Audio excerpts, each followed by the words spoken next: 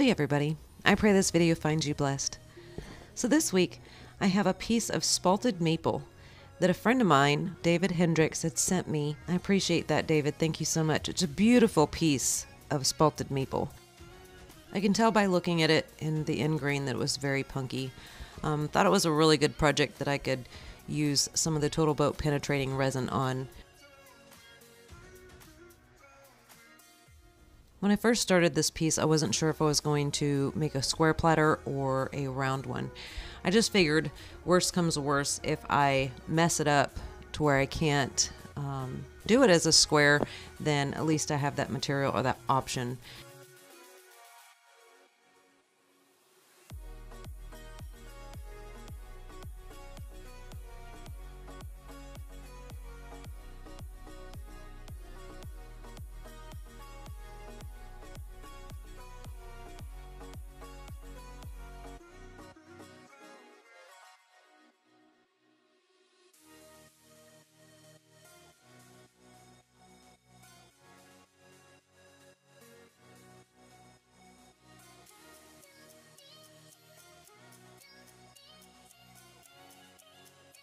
I'm kind of shaping it according to getting out some of that real um, punky areas. I like to try to, as much as I can, um, you know, shape it to make it nice, but also to try to get rid of a lot of that punkiness. There was a few um, bug holes. There wasn't any bugs or anything in it, but there were a few um, worm holes where you can tell they were living. So I'm, I'm continually stopping it and taking a look at it and seeing how uh, it's shaping up and also seeing how much of that punkiness is there because you can completely cut away a project before you get rid of some of the punky. And I'm willing to deal with it. I'm just trying to deal with the least amount.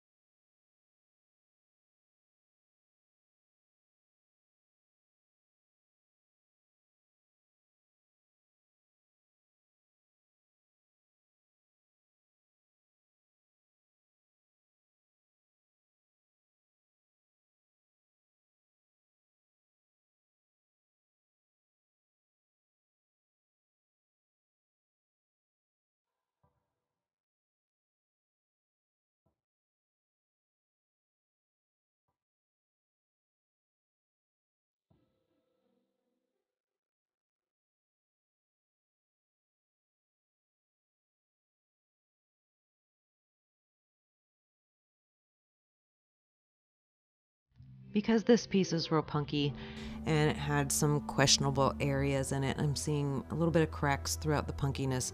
Not major.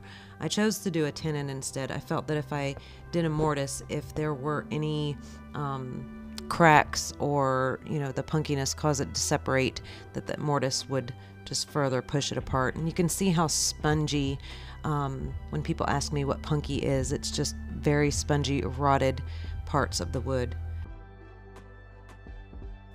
Total Boat's penetrating resin really helps save projects like these. You could also use wood hardener. You can use um, watered down uh, wood glue. You can use all kinds of things to help harden those fibers so that way when you come back to um, scrape it, just do your final scrape. Uh, or sand it, it helps to where you can get a smoother finish. Now, if you don't have any of those, but you do have resin, as long as it's epoxy resin, I'm not sure about polyurethane resin or any of those. But if you have epoxy resin, you can add 50% acetone, up to 50%, I would say. You could add more.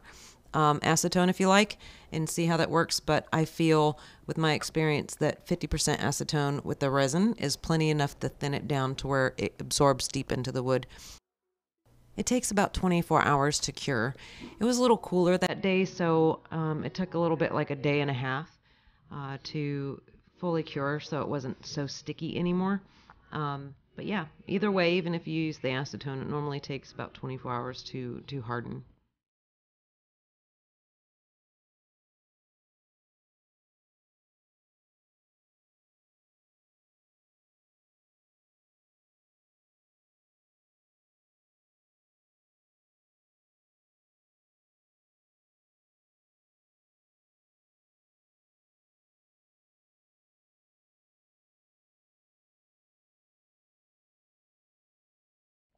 This beautiful pinkish color was actually in there before I applied the resin. I could see it when I had applied the resin originally. But that really, really popped once I put the sanding sealer on it. And it was so neat looking. I don't, not quite sure if, you know, maple's known to have those pink streaks running through them or, or what, but it was a really pretty, like, I don't know, just a random pop of color that showed up in there. And it was, it was really cool.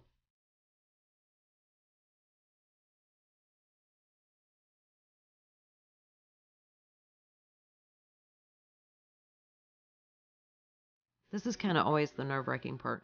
You're trying to get these wings the perfect thickness before you start taking out more of the material because that's what helps to keep the rest, you know, those wings stable while you're chiseling them away. Um, and all it takes is one good whack and you just chip off a wing and then you're reshaping the whole piece. And I've done it before, uh, so that's why I'm, I know how that feels. But thank goodness that didn't happen with this piece. But the, like I said, the faster you turn, the um, better it is because then your cuts end up being smoother. Your um, it doesn't it's not as rough to cut. It's not a rough ride, I should say. Um, while you're cutting, it just while the air is uh, hitting your chisel, you barely feel it the faster you turn.